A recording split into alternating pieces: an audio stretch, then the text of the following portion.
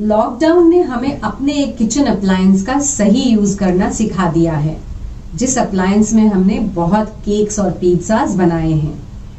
क्या आप उस अप्लायंस का नाम गैस कर सकते हैं? ओवन ये भी कोई पूछने की बात है? नाम तो आपने सही गैस किया पर इसे ओवन नहीं अवन कहते हैं। O V E N is oven and not oven. So next time when you make cakes and pizzas, please use your oven. Cakes और पिज्जाज देखकर तो बच्चों क्या? बड़ों की भी एपेटाइट बढ़ जाती है। Appetite? जी हाँ। A P P E T I T E appetite यानी कि भूख। क्या आप जानते हैं क्यों बढ़ जाती है एपेटाइट हम्म, क्योंकि केक्स और पिज्जाज डिलिशियस होते हैं। अक्सर मैंने लोगों को कहते सुना है I want to eat some delicious dish मैं आपको बता दूँ डिश कुछ नहीं होता है। It's dish D I S H dish सही कहा आपने।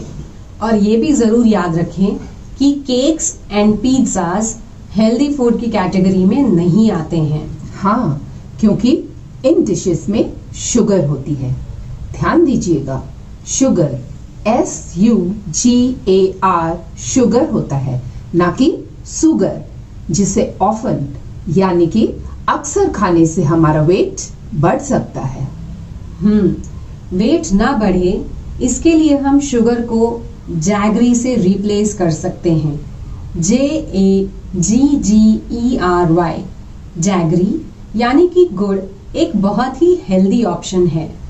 आइए अब एक टेलीफोनिक कॉन्वर्सेशन सुनते हैं। अचानक टेलीविज़न देखते देखते मनीष को याद आया कि घर में सीरियल खत्म हो गए हैं। चौंकिए मत।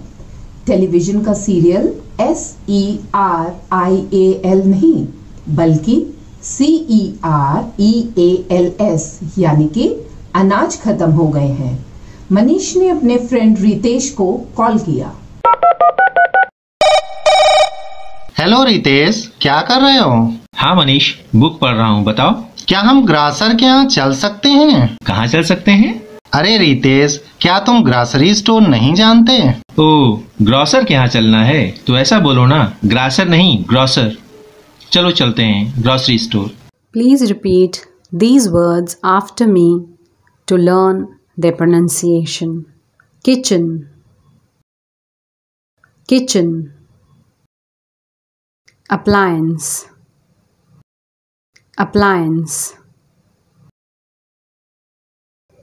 oven, oven, appetite. Appetite. Delicious. Delicious. Dish dish. Sugar. Sugar. Often. Often.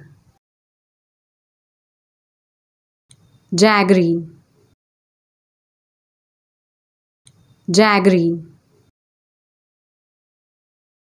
Grocer grocer cereals. Cereals. Thank you